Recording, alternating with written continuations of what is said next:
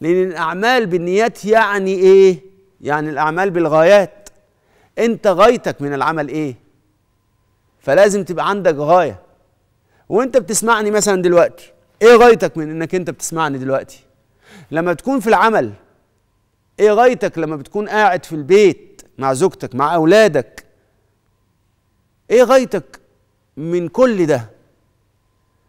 إيه غايتك لو أنت رايح الحج؟ في ناس بتروح الحج كأنها عاملة إيه؟ جلسة للعلاج النفسي عشان يعالج كآبته مش إنه يضيف معنى جديد في الحياة. حضرة النبي قال لنا عن الحج إيه؟ شوف الفرق ما بين اللي راح يعمل الحج يعمل فيها جلسة للعلاج النفسي وشوف حضرة النبي جعل لنا الحج إيه؟ من حج فلم يرفث ولم يفسق عاد كيوم ولدته أم ولدته أمه. يعني إيه؟ كأنه مولود جديد فالمولود الجديد يستقبل حياة كاملة جديدة.